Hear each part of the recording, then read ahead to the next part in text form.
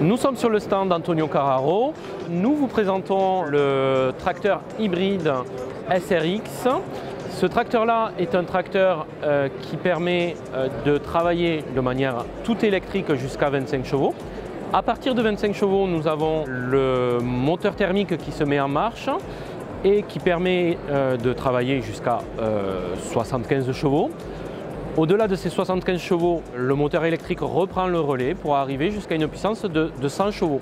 Si on n'utilise que 50 chevaux, euh, on se permet de recharger le, tracteur, donc on recharge les batteries du moteur électrique. Ce tracteur-là euh, est un concept car, c'est vraiment notre vision aujourd'hui euh, de l'instauration de l'électrique dans le tracteur.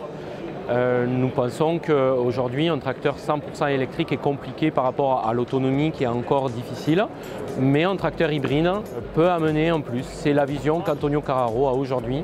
Et nous vous présentons ce tracteur qui peut également se recharger par le moteur ou par une borne de recharge que vous pouvez trouver euh, sur, sur le salon aussi.